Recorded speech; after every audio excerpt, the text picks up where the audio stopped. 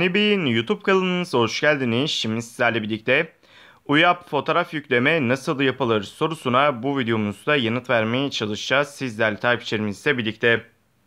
Bilgisayarınızdan resim eklemek için burada e, resim ve ardından ekle butonlarına tıklayabilirsiniz. Sayfanın arka planı resim eklemek için arka plan resim ekleye basabilir ya da editörden sembol eklemek için e, sembol ekle butonuna tıklayabilirsiniz. Yani UYAP üzerinden istediğiniz bir fotoğraf yükleyebilirsiniz. İster web sitedeki UYAP'tan ya da bilgisayarınızda e, program uygulama olarak bulunan UYAP üzerinden istediğiniz fotoğrafı tabi uygun formatta ve UYAP'ın kabul edebileceği türden e, kolaylıkla yükleyebilirsiniz. Bunun için seçip ekle ya da yükle butonlarını kullanmanız yeterli olacaktır. Videomuz bu kadardı. Umarım videomuzu beğenmişsinizdir. Videoyu beğenmişseniz aşağıdan beğen butonuna tıklamayı unutmayın. Kanalımıza abone değilseniz lütfen abone olun.